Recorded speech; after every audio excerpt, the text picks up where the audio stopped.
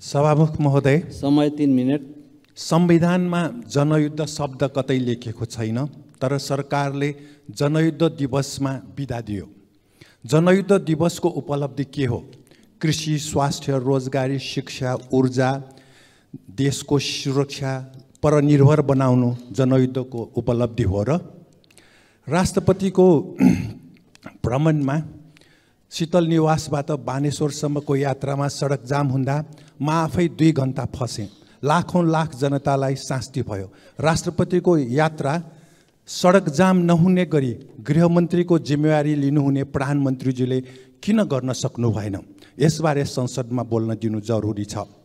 र बिदाको विषयमा देव शमशेर आठ महिना मन्त्री हुँदा दुई महिना जुवा फुकुवा गरेको हो भन्ने आएको छ। र भीम शमशेरले आठ पटक जुवा फुकाउने पाँच दिन सिन्दुर जात्रा गरी बिदा दिएको भन्ने पनि आयो। के नेपालमा त्यही राणा शासनको बिदा फेरि सुरु भएको हो? बेलायतमा जम्मा आठ दिन बिदा अमेरिकामा चौध दिन बिदा। खोइ विदेशबाट सिकेको सरकारले। सभामुख महोदय अर्थमन्त्रीले माघ उन्तिस गतेको संसदमा रासायनिक मल खरिद गर्न बजेटको अभाव नहुने बताउनु भएको थियो। फागुन दुईको आर्थिक अभियान दैनिकमा अर्थ मन्त्रालयले बजेट नपठाएको हुँदा आउने वर्षे बालीको लागि रासायनिक मलको अभाव हुने साल ट्रेडिङका अधिकारीहरूको भनाइ प्रकाशित भयो।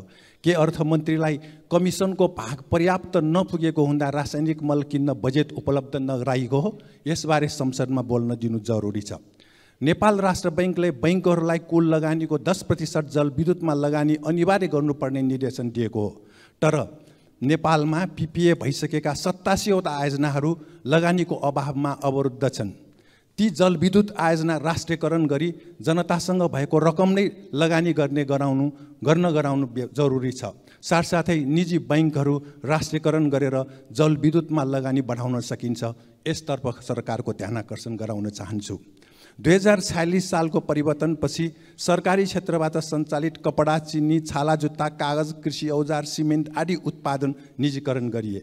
तर निजी उद्योगबाट सञ्चालन अरू निजी उद्योग बन्द छन्। छाला जुत्ता कारखानाको लागि चिनले सहयोग गरेको मेसिन बिक्रीपछि अहिले भारतमा सञ्चालित छ। सार्वजनिक संस्थान निजीकरणपछि उत्पादन रोजगारी आम्दानी सबै पर निर्भर भयो। लाखौँ युवा विदेश जानु पर्यो। डिप्रेसनको रकम घर जग्गा र डिपार्टमेन्ट स्टोरमा खर्च भइरहेको छ। यसले देश विकास हुँदैन।